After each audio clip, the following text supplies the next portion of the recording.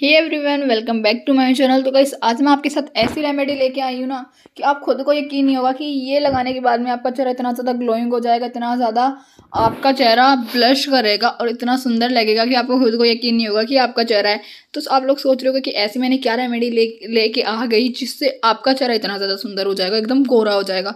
तो गाइस करना कुछ नहीं, बहुत आसान तरीके से बताऊँगी, बस वीडियोस की बिल्कुल मत करना, वरना समझ नहीं आएगा क्या क्या डाला है मैंने और किस तरीके से, कब और किस टाइम इस रेमेडी को यूज़ करना है। टमाटर लिया है, टमाटर आप देख रहे हो ना इसके, ना ये हरा टमाटर है और ना ही ये कोई थोड़ा कच्चा टमाटर ये थोड़ा पका पका है। यानी कि हम लोग हाथ में लेते हैं, थोड़ा सॉफ्ट सॉफ्टनेस सा फील आता है ना, वैसा टमाटर है, आपको भी ऐसा ही लेना है। आप लोगों को भी कच्चा टमाटर नहीं लेना है। इस तरीके से मैंने दो इसको साइडों में काट लिया है और ऊपर वाली साइड है ना, थोड़ी छोटी काटना है, क्योंकि नीचे वाली हमें थोड़ी बड़ी चाहिए। इस तरीके से काट लिया है और इससे क्या होता है पिगमेंटेशन जो भी दिक्कत होती है ना, जैसे आँखों के नीचे dark circle blackheads whiteheads और बहुत सी दिक्कत होती है, चेहरा बहुत ज़्यादा झुर्रिया वाला हो जाता है। तो हम लोग क्या करें कि हमारी स्किन है ना स्किन टोन बहुत ही अच्छा हो जाए। तो आप लोग भी चाहते हो कि लोग आपको कॉम्प्लीमेंट करें कि हाँ आपकी स्किन कितनी सुंदर है। काश मेरी भी ऐसी होती। तो ऐसा ही कॉम्प्लीमेंट चाहते हो तो बस वीडियो को स्किप बिल्कुल मत करना। ऐसा ही कॉम्प्लीमेंट लोग आपको देंगे। तो यहाँ देख सकते हैं सबसे पहले डाला था हल्दी। और चीनी। आप लोगों को पता है, हल्दी, चीनी और जो टमाटर लिया है ना मैंने अभी, ये तीनों चीज़ें बेस्ट है स्किन के लिए। इसीलिए मैंने इन तीनों चीज़ों को यूज़ किया है। आप लोगों को लग रहा होगा कि हाँ कुछ तो फ़ायदा होएगा ही, क्योंकि सारी चीज़ें ऐसी है जो बहुत ही ज़्यादा हेल्पफुल रहती हैं हमारी स्किन के लिए। तो यहाँ इस तरीके से देख सकते हैं। अच्छे से इसको कर लेंगे मिक्स इस तरीके से इसको अच्छे से मिक्स कर लेंगे इसके अंदर। ये मैंने आप लोगों को लग रहा होगा कि नॉर्मल चम्मच, बहुत लोग नॉर्मल चम्मच से इसका यूज़ कर लेंगे बट मैं आपको पहले ही बता देती हूँ नॉर्मल चम्मच बिल्कुल मत लेना, वरना जो हमारा जूस जो टमाटर के जूस के अंदर जो हम लोगों ने चीज़ें मिलाई है ना, वो मिक्स नहीं होगी। तो आप लोग काटा चम्मच ले सकते हो इस तरीके से। इस तरीके से हेल्प से आपका जो जूस है ना, चीनी और जो आपकी मैंने हल्दी डाली है, वो एकदम तीनों चीज़ें अच्छे से मिक्स हो जाएँगी, उस जूस के अंदर मिक्स हो जाएँगी।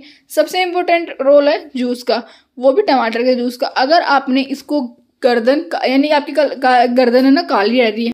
अगर आपकी गर्दन काली हो रही है, बहुत लोगों की होती है, यानी कई कई बार हमारी गर्दन ऐसे काली हो जाती है कि हम लोग बाहर रहते हैं ना, तब भी बहुत ज़्यादा काली हो जाती है।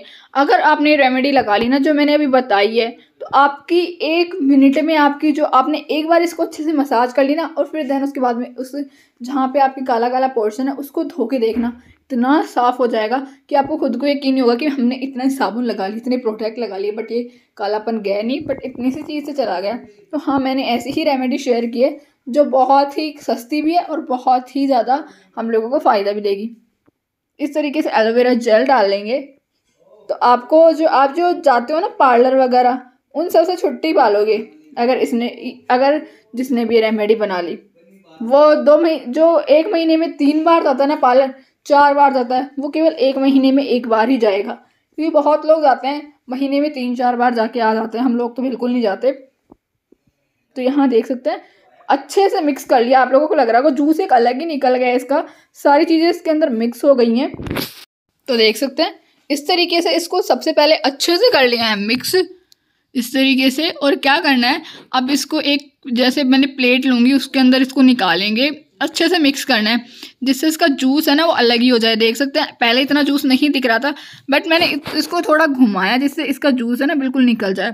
क्या अगर हम लोगों को, हम लोगों की सबसे बड़ी दिक्कत ये होती है कि हम लोग जो भी चीज़ यूज़ करते हैं ना, उसको पूरी यूज़ नहीं करते। हमारे घर में पता है, मम्मी और, मम्मी है, वो हमेशा डांटती हम लोग इतना टमाटर यूज़ करते हैं। तो मैंने सोचा क्यों ना कि हम लोग आधा ही टमाटर यूज़ करें और आधा छोड़ दें। इस तरीके से इसको एक कटोरे में डाल के अच्छे से हाथों और पैरों पे मसाज करनी है और चेहरे पे और गर्दन पे भी। तो भाई आपको रेमेडी कैसे लगी मुझे कमेंट करके ज़रूर बताएँ। तो आज के लिए इतना ही। तो आप देख सकते हैं हाथों में फ़र्क। तो आज के लिए इतना ही। Thank you